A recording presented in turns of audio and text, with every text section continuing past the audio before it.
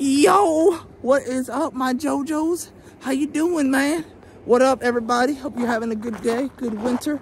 I know I am. You hear that crunch? That's the ice. It's icy, snowy. It's uh, frosty.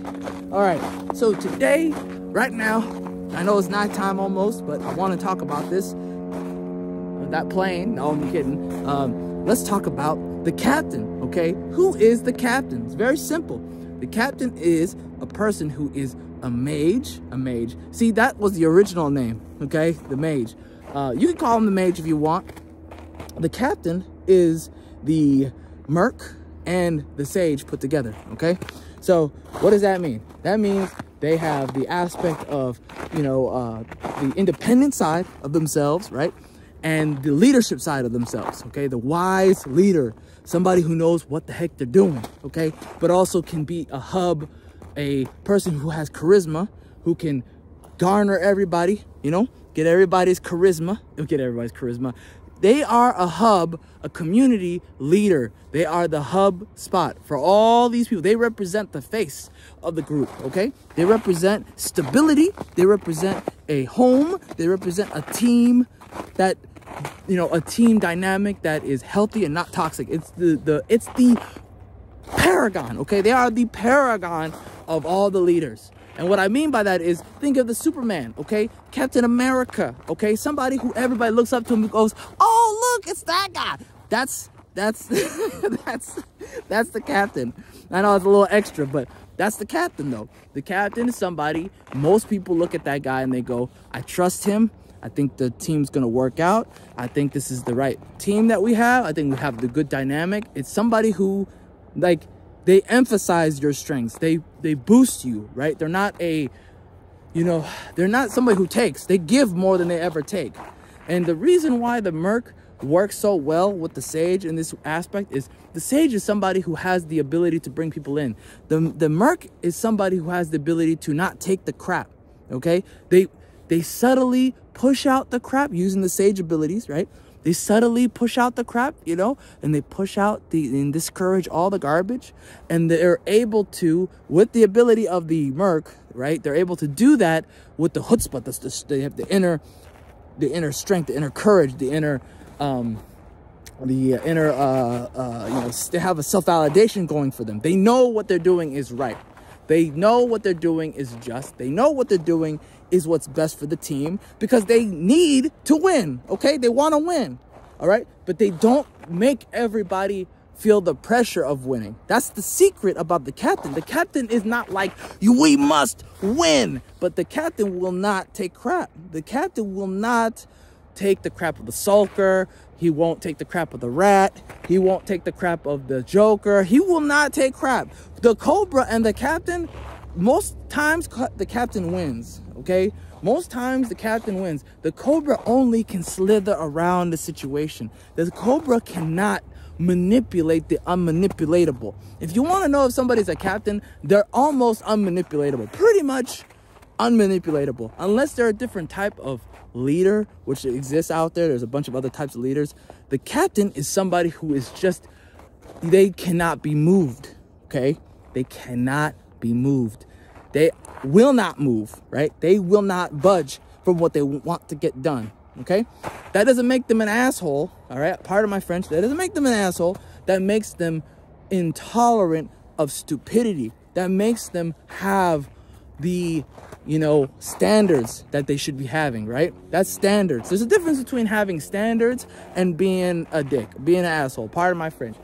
We're talking about somebody who's like, hey, for the sake of the team, because it's not right for everybody else to suffer for your nonsense, you know, for the sake of the team, I have to let you go. That's the kind of person the captain is. He soft pushes you out. He doesn't hard push you out. He doesn't have to. Why would he have to do that? The whole team doesn't want that person in there. Right? And the whole team doesn't want to have the person in there. By that point on, the captain just kind of subtly takes that person aside and says, hey, uh, I don't know, Mark, make it up a name, Matt, it ain't working out. Matt, Mark, Jack. Jack is a good one. Jack, ain't, it ain't working out, Jack. We're gonna have to let you go, man. Uh, there's a bunch of other teams out there. You want want to check out the other teams. That's how it is. Um, and it's not like he he hates anybody or has like ill will towards somebody. He's very professional. He's able to keep that profession. That's the merc side of things by the way. The merc is able to be unemotional while doing the bad things the quote unquote the bad things the tough decisions the the tough acts that nobody wants to do.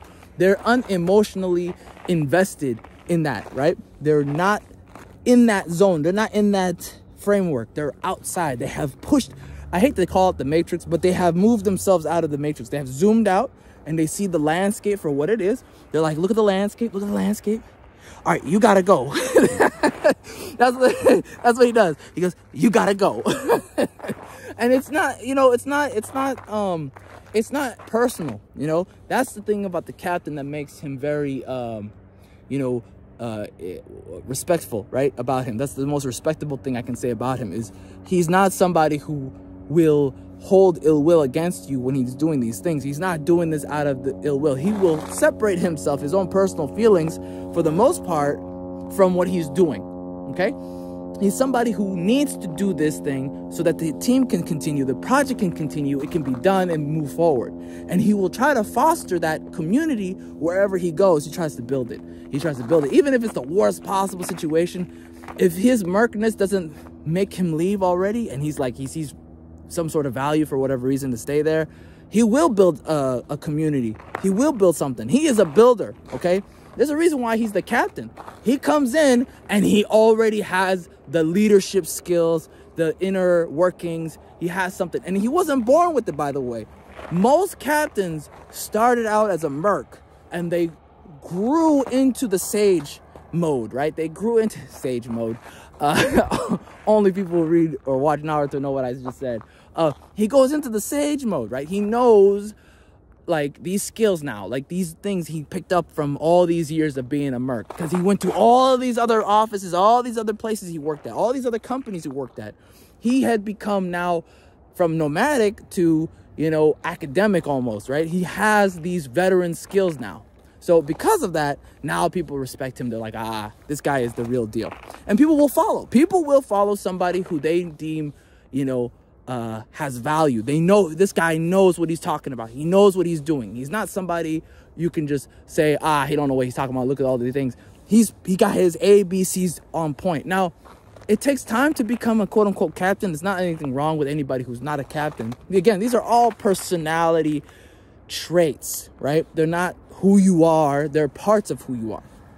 Um, some people eventually become a captain after decades of working. Some people become a captain within five years. It depends on your level of adaptability, um, the harshness of, of the workplaces you've been in. The harder the workplace and the harder the jobs, the harder the the the, the skills, you know, the quicker you you become a captain. And especially with people, the more unique people you deal with, the more uh, difficult people you deal with, the faster it is to become a captain. And that's not always a good thing. Sometimes people, you know, the captain is a merc who lost a lot of jobs and now he's able to do this, you know, or maybe he's a, uh, a merc who, um, you know, lost his, um, you know, dream job and now he's a captain because he figured out how to navigate because of that bad experience he had. Um, sages who become sages who become captains are in like they be, they had a transitory pe- uh, period where they kind of become disillusioned from the job, the workplace, because they have to be untied. Usually, sages they lose their job. That's what happens. They lose their job or they lose the love for their job, and they quit the company wherever they are, and they go to several other companies, and they pick up merc mentalities as they go. So they become less attached to groups. It's it's almost like they, it's almost like they have to become doom pilled to to working before they become a captain. And I think unfortunately, a sage who becomes a captain sometimes holds a resentment. I don't know what it is, but sometimes you see a, a captain who has resentment for the job and the people around him. That's usually because he's he was a sage first, which is unfortunate. Um, that doesn't mean that the person's a bad person. It just takes time for them to get over that. That's like a, it's like a, um, a, a rage moment. They have like that ragetory period. You know, uh, to become a merc, you have to kind of have a ragetory period. You have to you know, become either doom pilled or or have like a ragetory period where you're just like, I can't believe this company would do this. You become disillusioned and you have rage, right? You're like, you're going through the seven stages of grief. Like, how could this happen to me? Ah, you know, and it that takes time to get over. It takes time to get over. Uh, and and the people that the captain works best with obviously are the believer, the uh, they work well with the Joker. When the Joker like is somebody who is has some mixtures to them like they have like a lot of uh, either believerness in them or they have some sort of uh, they fall they see a value in that guy and they take him seriously. That's when the joker will work with the captain. It that's kind of a tenuous situation. It takes time. So there's usually some sort of, some sort of tension there the the uh, the um, the sage works very well with the captain although sometimes there's some struggle there for power uh, you'll see that um, the um, the what you call it the sulker will eventually take a knee to the captain and say, okay, I'm to go ahead and work with this. Or the captain boots them out. That's usually how it goes. They, he doesn't stay there for that. He does, they, don't, they don't tolerate that. Um, the Qobra always gets booted right away. It's like the first person gets booted. The Rat will take a knee to the captain happily as long as the captain is somebody they see them right away like, oh, this is the captain. This is the guy. When they see them, that when the Rat sees, oh, that's the guy, they will follow immediately. Um, what's the last one? Is there anyone else? I feel like I'm missing one. And I'll put it in the comment section if I missed one. I can't think of anybody else right now. I know there's somebody I'm missing. The believer follows, the rat, the sulker, the the merc. Merc follows, obviously. Merc sees the captain. He goes, all right, I don't have to do. Anytime a, a, leader steps in and the merc sees the leader is capable, the merc doesn't care. He's good. He is happy. He don't want to have to deal with it that's it, man. Let me know what you guys think. Um, and uh, let me know if you are you a captain? Do you know a captain? I'm all ears. Have a great day. Take it easy. Bye.